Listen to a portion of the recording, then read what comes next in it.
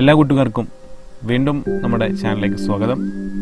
Top സ്ക്രൈബിന്റെ ചാനലിൽ നമ്മൾ പുതിയതായിരിക്കുന്ന ഒരുപാട് വിവരങ്ങൾ അപ്ഡേറ്റ് ചെയ്തുകൊണ്ടിരിക്കുന്നു. എല്ലാ ദിവസവും ഒന്നോ അതല്ലെങ്കിൽ അതിൽ കൂടുതൽ വീഡിയോകൾ നമ്മുടെ ചാനലിൽ വന്നുകൊണ്ടിരിക്കുന്നുണ്ട്. ടാലിയുമായി ബന്ധപ്പെട്ട് നാല് വീഡിയോകൾ നമ്മൾ ഓൾറെഡി ചെയ്തിട്ടുണ്ട്. അഞ്ചാമത്തെ വീഡിയോയിൽ ഇന്ന് നമ്മൾ പഠിക്കാൻ പോകുന്നത് എങ്ങനെയാണ് സ്റ്റോക്ക് ഐറ്റംസ് ക്രിയേറ്റ് ചെയ്യുക എന്നുള്ളതാണ്. ഞാൻ എന്റെ ടാലി ഓപ്പൺ ചെയ്ത് വെച്ചിട്ടുണ്ട്. ടാലിയുടെ ഇന്റർഫേസിൽ ഗേറ്റ് വേ ഓഫ് ടാലിയിൽ മാസ്റ്ററിലാണ് നമ്മുടെ ക്രിയേഷൻ നടക്കുക എന്നുള്ളത്. കഴിഞ്ഞ എപ്പിസോഡിൽ നമ്മൾ പറഞ്ഞു പഠിച്ചു. ഇന്നത്തെ വീഡിയോ നമ്മൾ സ്റ്റോക്ക് ഐറ്റംസ് എങ്ങനെ ക്രിയേറ്റ് ചെയ്യാം. ഈ സ്റ്റോക്ക് ഐറ്റം ക്രിയേറ്റ് ചെയ്യുന്നതിന് മുമ്പായിട്ട് നമ്മളതിൽ ചെയ്യേണ്ട രണ്ട് കാര്യങ്ങളുണ്ട്. നമുക്ക് നോക്കാം. നമ്മൾ മാസ്റ്ററിൽ നമ്മൾ ഇൻവെൻട്രി ഇൻഫോ എന്നുള്ളതിൽ പോയാൽ നമുക്ക് സ്റ്റോക്ക് ഐറ്റംസ് എന്നുള്ള രണ്ടാമത്തെ ഓപ്ഷൻ ഇവിടെ കാണാൻ പറ്റും.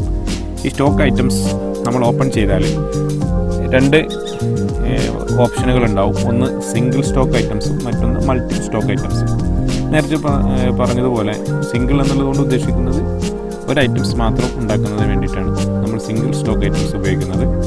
ഒന്നിലധികം എത്രയോ വേണമെങ്കിലും ഉണ്ടാക്കും. അതിന് വേണ്ടിയിട്ടാണ് നമ്മൾ മൾട്ടിപ്പിൾ സ്റ്റോക്ക് ഐറ്റംസിന് ഉപയോഗിക്കാറുള്ളത്. ഏതായാലും ഇതിൽ നമ്മൾ നിലവിൽ സ്റ്റോക്കുകളൊന്നും ഇല്ലാത്തതുകൊണ്ട് ക്രിയേറ്റ് എന്നുള്ള ഓപ്ഷൻ മാത്രമാണ് നമുക്കവിടെ ഓപ്പൺ ആക്കാൻ കഴിയുള്ളൂ. അതിലെ ഡിസ്പ്ലേയോ ആൾട്ടറോ നമുക്ക് ഓപ്പൺ ചെയ്യാനുള്ള ഓപ്ഷൻ നിലവിൽ അവിടെ ഇല്ല. അത് നമ്മൾ മറ്റു ഐറ്റംസുകളൊന്നും ഇപ്പം നിലവിൽ അവിടെ ഇല്ലാത്തത് കൊണ്ടാണ് നമുക്കത് കാണാൻ പറ്റുന്നത്. നമ്മൾ ക്രിയേറ്റ് എന്നുള്ള ഓപ്ഷൻ നമ്മൾ ഓൺ ആക്കിയാൽ തന്നെ നമുക്ക് കാണാൻ പറ്റും.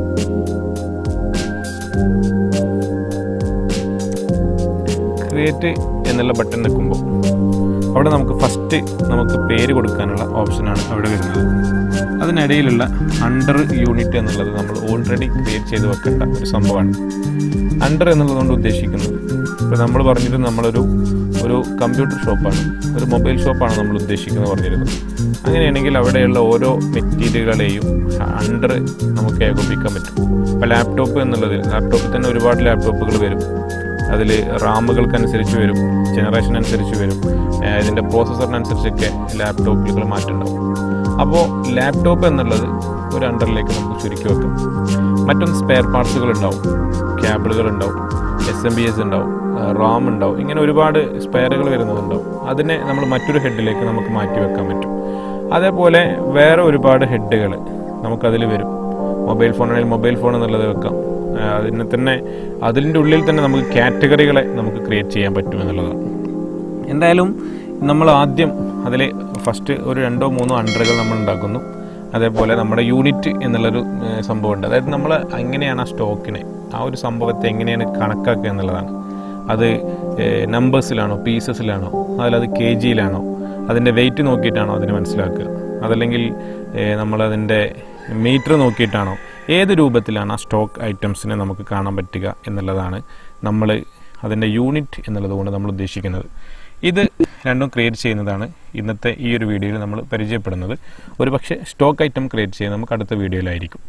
അപ്പോൾ ഇതിൽ നമ്മൾ മാസ്റ്ററിൽ ഇൻവെൻട്രി ഇൻഫോയിൽ വന്നാൽ ആദ്യം കാണുന്ന ഓപ്ഷൻ സ്റ്റോക്ക് ഗ്രൂപ്പ് എന്നുള്ളൊരു ഓപ്ഷനാണ് നമുക്ക് കാണാൻ പറ്റുക.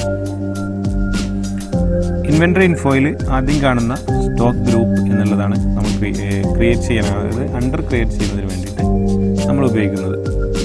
നമ്മൾ ക്രിയേറ്റ് എന്നുള്ള ഐറ്റംസ് എടുത്തു. നമ്മൾ ഫസ്റ്റ് ലാപ്ടോപ്പ് എന്നുള്ള പേരിലാണ് ഒരു ഗ്രൂപ്പ് ക്രിയേറ്റ് ചെയ്യുന്നത്. ഈ ലാപ്ടോപ്പിന്റെ ഉള്ളിലായിട്ട് അതായത് ലാപ്ടോപ്പിന്റെ ഉള്ളിൽ നമുക്ക് വേറെ എന്തെങ്കിലുമൊക്കെ കാറ്റഗറികൾ ഉണ്ടാക്കാൻ പറ്റും. അത് ഉണ്ടാക്കുന്നതിന് വേണ്ടിയിട്ടുള്ള ഓപ്ഷൻ നമുക്ക് അടുത്ത വീഡിയോയിൽ നോക്കാം. ഇപ്പം നമ്മൾ ഇവിടുത്തെ മറ്റു ഓപ്ഷനുകളൊന്നും നോക്കുന്നില്ല. നമുക്കിവിടെ ലാപ്ടോപ്പിന്റെ ജി എസ് ടി ഡീറ്റെയിൽസ് ഇവിടെ സെറ്റ് ചെയ്യുകയാണെങ്കിൽ പിന്നെ എല്ലാ പ്രൊഡക്റ്റുകളും ജി എസ് ടി ഇല്ലാതെ തന്നെ നമുക്ക് എന്റർ ചെയ്യാൻ പറ്റും. പക്ഷെ നമ്മളിവിടെ ജി എസ് ടി ഇപ്പോൾ എന്റർ ചെയ്യുന്നില്ല. നമുക്കത് അടുത്ത വീഡിയോയിൽ പരിചയപ്പെടാവുന്നതാണ് നമ്മൾ ഒരു അണ്ടർ ഉണ്ടാക്കി വെച്ചു. നമ്മൾ രണ്ടാമത് കുറച്ച് അണ്ടറുകൾ നമ്മൾ ഓൾറെഡി രൂപീകരിച്ച് വെക്കുകയാണ്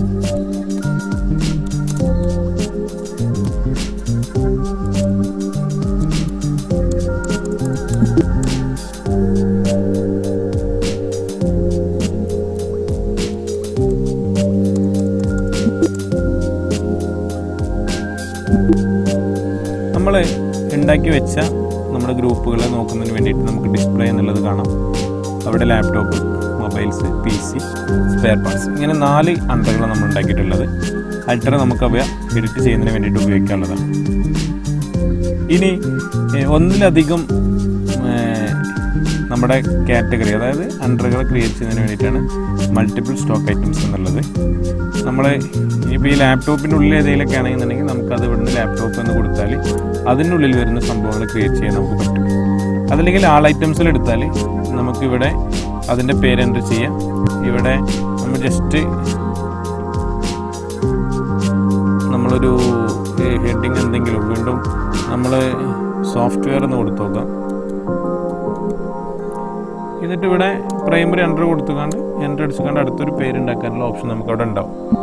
ഇപ്പോൾ നമ്മൾ ഓൾറെഡി ഈ നാല് ഐറ്റംസുകളിൽ മാത്രമാണ് നമ്മൾ നിൽക്കുന്നത്.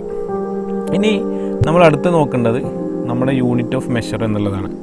സ്റ്റോക്ക് ഐറ്റംസിന്റെ താഴ്ഭാഗത്തായിട്ട് കാണുന്ന ഓപ്ഷനാണ് യൂണിറ്റ് ഓഫ് മെഷർ എങ്ങനെയാണ് നമ്മളിതിന്റെ യൂണിറ്റ് കണക്കാക്കേണ്ടത് ഒന്നാമത്തെ ഓപ്ഷനിൽ നമുക്കൊന്നും ചെയ്യാനില്ല. രണ്ടാമത്തെ അതിന്റെ സിമ്പിൾ എന്നുള്ളതിലാണ് നമ്മൾ കൊടുക്കേണ്ടത്. നമ്മളവിടെ നമ്പേഴ്സ് എന്നുള്ളതിന് ചുരുക്കി എൻ ഒ എസ് എന്ന് കൊടുത്തു. അതിന്റെ ഫുൾ രൂപം നമുക്കവിടെ എഴുതാം. നമ്പേഴ്സ് എന്ന് എഴുതി. യൂണിറ്റി കോഡ് കൊടുക്കുന്നതിനുള്ള ഓപ്ഷനാണത്. നമ്മൾ കൊടുത്തു. ഇവിടെ നമ്പർ ഓഫ് ഡയമെൻഷൻ പ്ലേസസ് അത് എത്ര പൂജ്യത്തിന് ശേഷം അതായത് നമ്മുടെ ഒരു പത്ത് എന്നതിന് ശേഷം എത്ര പൂജ്യം വേണം എന്നുള്ളതാണ്. നമ്മളിവിടെ രണ്ട് എന്ന് എന്റർ ചെയ്യുന്നു നമ്മൾ സേവ് അടിക്കുന്നു. ഇനി നമുക്ക് ക്യാബിളുകളൊക്കെ ഉണ്ടെങ്കിൽ നമുക്ക് മീറ്ററിൽ കൊടുക്കേണ്ടി വരും. അപ്പോൾ നമ്മൾ മീറ്റർ എന്നവിടെ എന്റർ ചെയ്യുന്നു.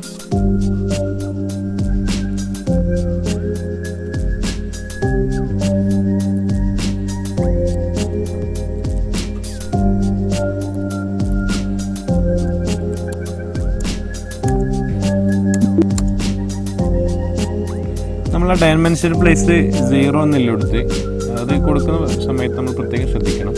കാരണം നമ്മൾ ഒരേപോലെ അല്ല കൊടുക്കുന്നു എന്നുണ്ടെങ്കിൽ നമ്മുടെ ബില്ലിലൊക്കെ നമുക്ക് വലിയ ബുദ്ധിമുട്ടുണ്ടാവും. ടോട്ടൽ ചെയ്ത് വരാതിരിക്കാൻ ചാൻസ് ഉണ്ട്.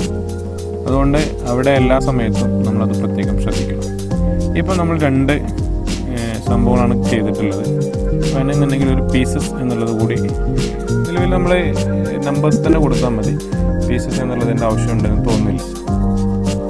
അങ്ങനെ നമ്മൾ ഇനി സ്റ്റോക്ക് ഐറ്റംസ് ഉണ്ടാക്കാൻ പോവാണ്. നമ്മൾ സ്റ്റോക്ക് ഐറ്റംസ് എടുക്കുന്നു. ക്രിയേറ്റ് ചെയ്യാണ് ഇവിടെ നമ്മോട് ഫസ്റ്റ് ചോദിക്കാം നമ്മളൊരു ലാപ്ടോപ്പ് ഒരു കമ്പനിയുടെ ലാപ്ടോപ്പ് ഒരു Dell laptop I three seventh generation നമ്മൾ ചുരുക്കി അങ്ങനെ ഇത് ഇത് ഈ ഒരു സ്റ്റോക്ക് ഐറ്റംസ് ക്രിയേറ്റ് ചെയ്യുന്ന സമയത്ത് നമ്മൾ പ്രത്യേകം ശ്രദ്ധിക്കേണ്ടത് നമ്മൾ കൊടുക്കുന്ന പേരുകൾ നമ്മുടെ അടുത്ത് നിന്ന് പ്രൊഡക്റ്റ് വാങ്ങുന്ന ഒരാൾക്കും ഈ ഐറ്റം ബില്ലിൽ വന്ന ഐറ്റം ഞാൻ വാങ്ങിയ ഐറ്റം ഇതാണ് എന്നുള്ളത് മനസ്സിലാവും ചില ആളുകൾ അവർക്ക് ഇഷ്ടപ്പെട്ട പേരുകൾ ചില സമയത്ത് സ്റ്റോക്ക് ഐറ്റംസിൽ കൊടുക്കാറുണ്ട്. എന്നിട്ട് നമുക്ക് നമ്മളൊരു പാർട്ടിക്ക് ബില്ല് കൊടുക്കുന്ന സമയത്ത് ഈ പാർട്ടി ചോദിക്കും ഈ ഒരു പ്രൊഡക്റ്റ് എന്താണ്? ഇത് ഞാൻ വാങ്ങിയതാണെന്ന് ചോദിക്കാറുണ്ട്. അത് ആ ഒരു വ്യക്തിക്ക് ആ ഒരു പ്രൊഡക്റ്റ് നമ്മുടെ ബില്ലിൽ നിന്ന് മനസ്സിലായിട്ടില്ല എന്നുള്ളതാണ്. കൃത്യമായിട്ട് നമ്മുടെ ബില്ല് കണ്ടാൽ ആ പാർട്ടിക്ക് മനസ്സിലാണോ ഇത് ഞാൻ വാങ്ങിയ ഇന്നല്ലൊരു പ്രൊഡക്റ്റാണ് എന്നുള്ളത് കൃത്യമായിട്ട് മനസ്സിലാക്കാൻ പറ്റണം. അങ്ങനെ ആയിരിക്കണം നമ്മൾ കൊടുക്കുന്ന പേര്. ഇപ്പോൾ ഈ ഒരു ഡെൽ എന്നുള്ള ലാപ്ടോപ്പ് അതിന്റെ ഐ ത്രീ സെവൻത്ത് ജനറേഷനാണ് നമ്മൾ കൊടുക്കുന്നത് എന്നുള്ളത് മനസ്സിലാവും. ഇതിന്റെ അണ്ടർ നമ്മളുടെ ലാപ്ടോപ്പ് എന്നുള്ളത് കൊടുക്കണം ഓക്കെ ഏത് മെഷർ നമ്മൾ നമ്പേഴ്സിലാണ് ലാപ്ടോപ്പിന് നോക്കുന്നത്. പീസസും കൊടുക്കുക ചില ആൾക്കാർ പീസസ് ആയിരിക്കും നമ്പേഴ്സിൽ കൊടുക്കുക ഇവിടെ നമ്മൾ വരുന്നത് ഇതിന് ജി എസ് ടി അപ്ലിക്കബിൾ ആണ്. ഇത് വേറൊരു പാർട്ടാണ് ഈ ഒരു വിഷയം നമുക്ക് അടുത്ത വീഡിയോയിൽ അതിന്റെ ഡീറ്റെയിൽഡ് ആയിട്ടുള്ള സംഭവത്തിലേക്ക് പോകാം. ഇത് ജി എസ് ടി അപ്ലിക്കബിൾ ആണെന്ന് കൊടുക്കുന്നു. അതിന്റെ സെറ്റ് അതിന്റെ ജി അതായത് അതിന്റെ എച്ച് എസ് എൻ കോഡും അതിന്റെ ടാക്സ് ഡീറ്റെയിൽസുകളൊക്കെ സെറ്റ് ചെയ്യാനുള്ള ഓപ്ഷനാണ് പിന്നീട് അവിടെ ഉള്ളത്. നമുക്കത് അടുത്തൊരു വീഡിയോയിലൂടെ നമുക്ക് പരിചയപ്പെടാം. ഇപ്പോൾ നമ്മൾ ഇവിടെ ഡെല്ലിന്റെ ഒരു ലാപ്ടോപ്പാണ് ഉണ്ടാക്കിയത്. ഇനി നമുക്ക് മറ്റൊരു കമ്പനിയുടെ ലാപ്ടോപ്പ് ഉണ്ടാക്കാം.